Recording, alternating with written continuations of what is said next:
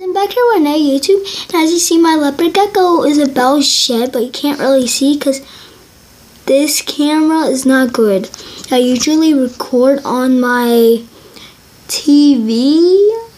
Wait, no, no, I meant uh, my phone. But here it's really blurry, so sorry you guys can't see that. Well, uh, tomorrow when I does shed, I'm definitely going to show y'all him.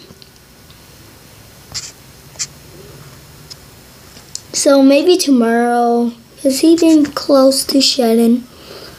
He been getting darker. And the sad thing, uh, like, I have like the thing that like when it's day, it turns the daylight on, and guess what? It broke and I was getting kind of worried. But lucky thing, I have a backup thing.